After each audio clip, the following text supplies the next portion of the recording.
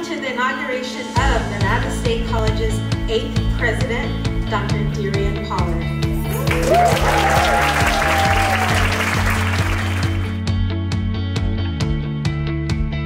Today is a historic day, not only for this institution, but for our entire state. I was thrilled to support the appointment of our esteemed eighth president of this outstanding institution. Dr. Pollard brings a tremendous amount of expertise and has the exact type of credentials that Nevada State needs to build on its magnificent foundation. It is my honor to now introduce the eighth president of Nevada State College, Dr. DeRionne Pollard.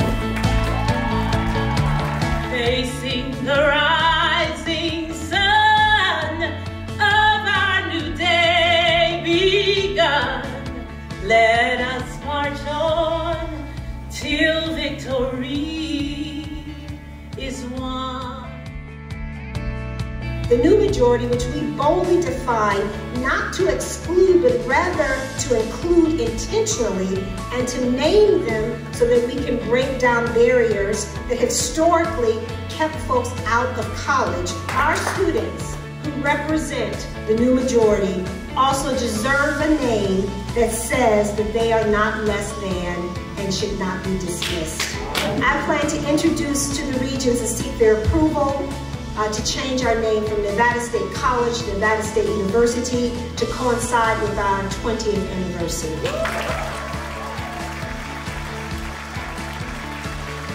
She is bold, she is great, and we are so glad that she is state. Thank you very much.